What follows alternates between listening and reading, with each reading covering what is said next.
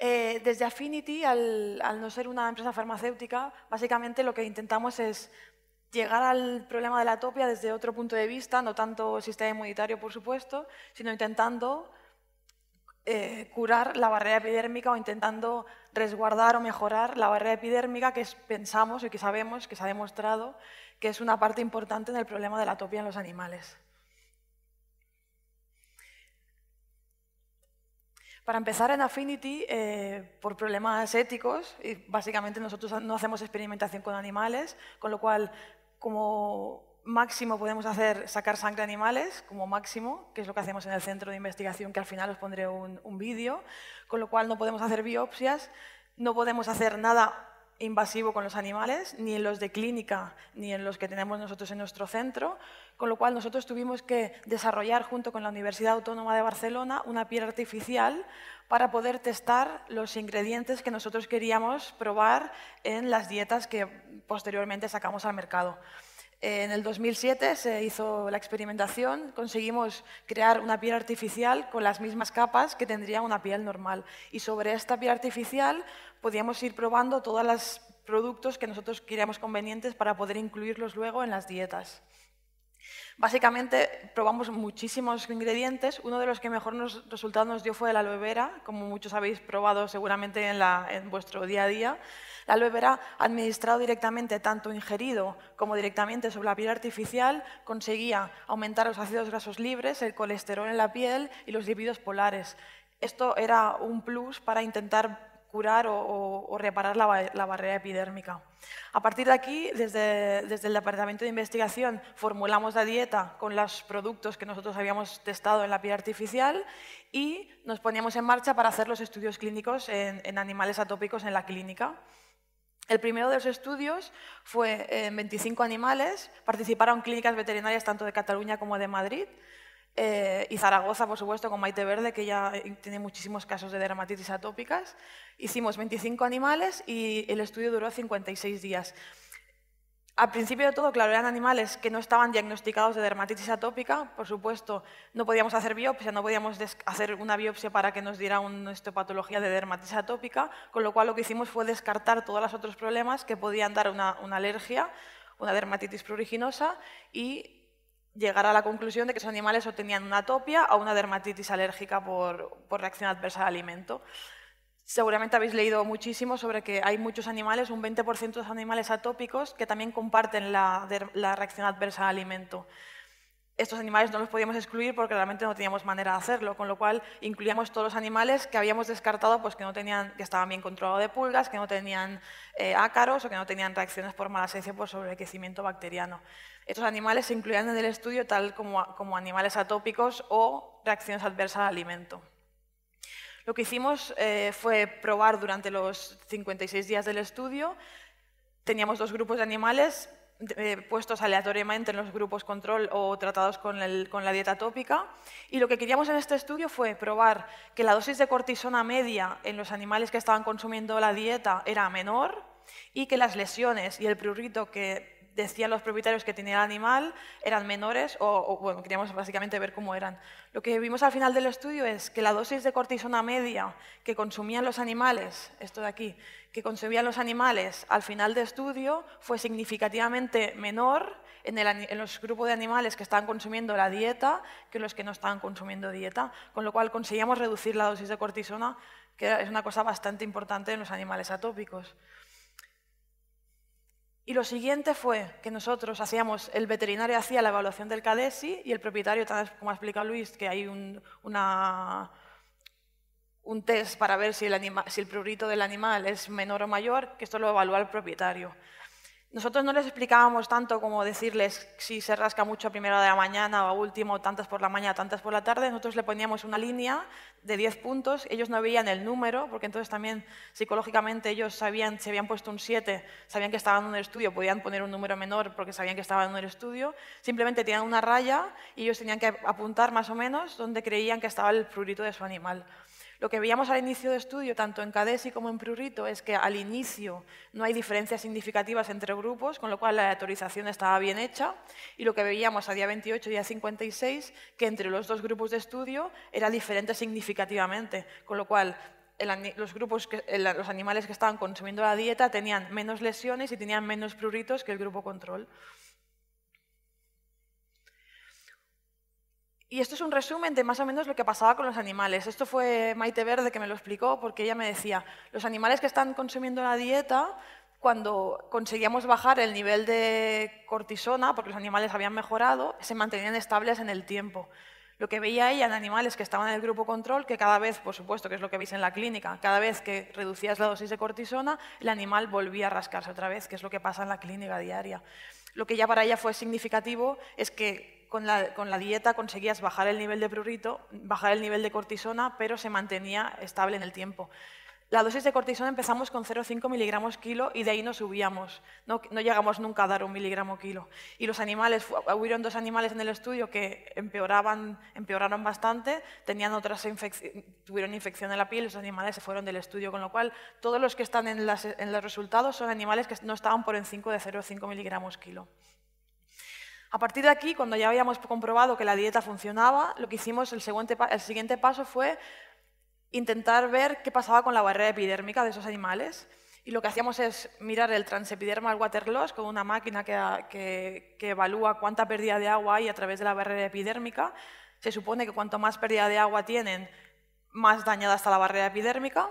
Y también mirábamos el pH de la piel. Sabéis que el pH en los animales según las razas es muy diferente. Hay muchos estudios ahora que demuestran que diferentes razas tienen diferentes pHs y el pH influye en la barrera epidérmica y también en que tengan más predisposición o menos a tener infecciones bacterianas en la piel.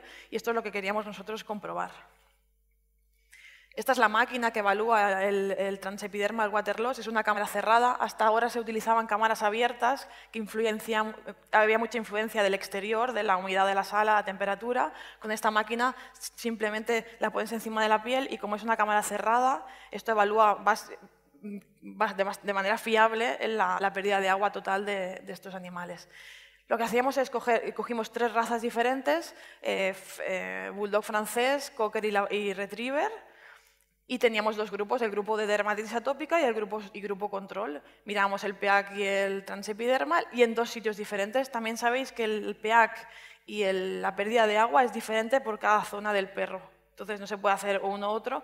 Si, quieres hacer un estudio, lo haces en un sitio concreto, en una que, que, quieras, pero sí que es verdad que luego tú te pones a jugar con la máquina y en cada zona del perro es diferente tanto una cosa como la otra.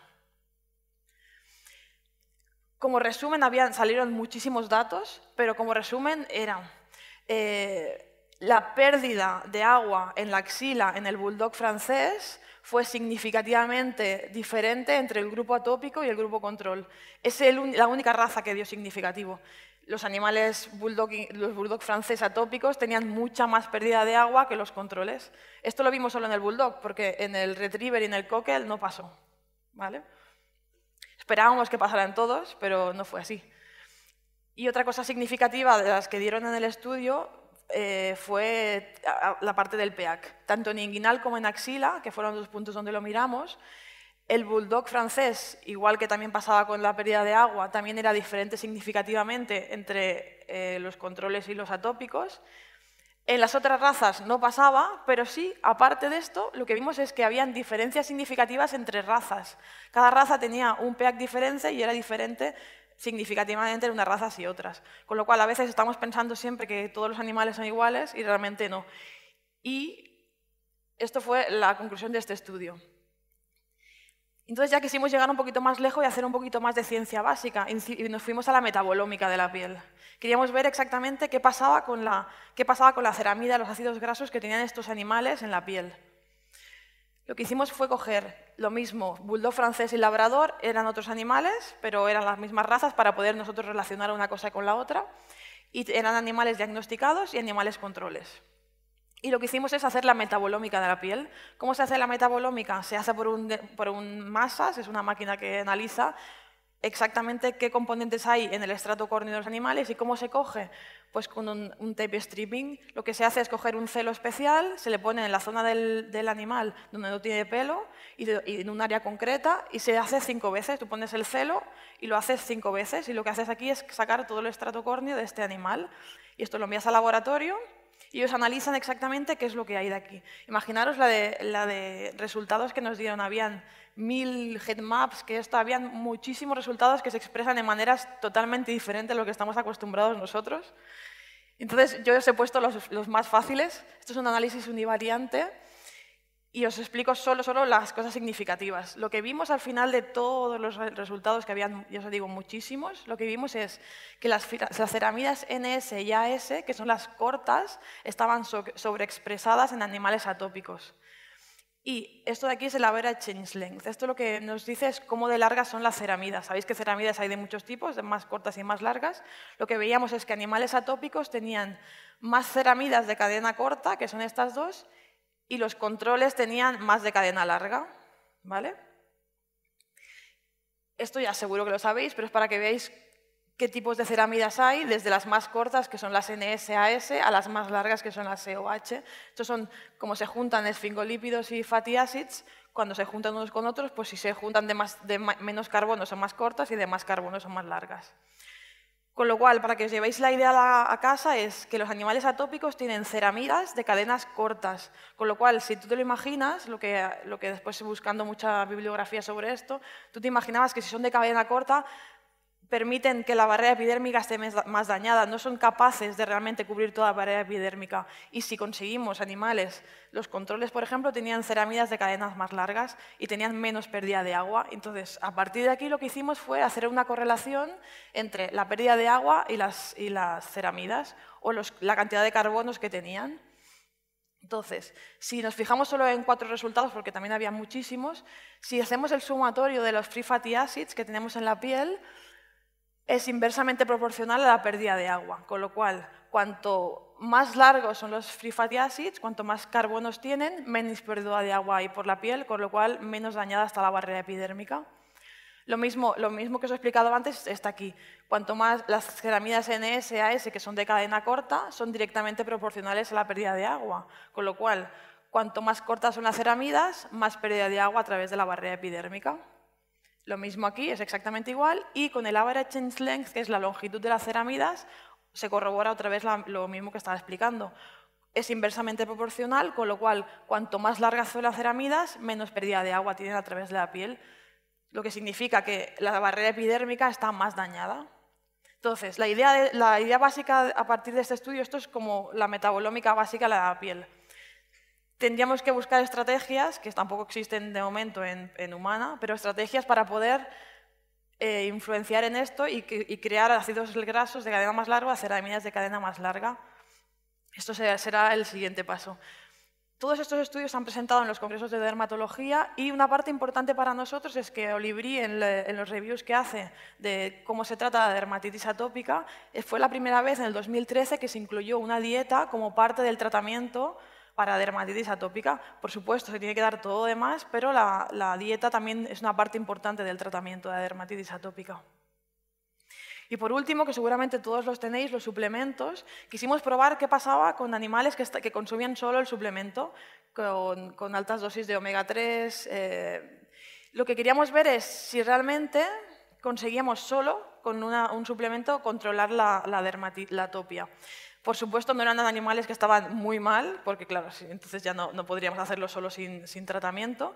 Eran animales, sobre todo los que yo incluí en el estudio, fueron 10 animales, animales que tenían otitis, porque realmente por la, experiencia que teníamos del día a día, veíamos que animales que tenían muchos otitis respondían bastante más rápidos que otros, y lo que conseguimos ver es que la reducción del calesi fue significativa y, y del prurito que decía el animal también.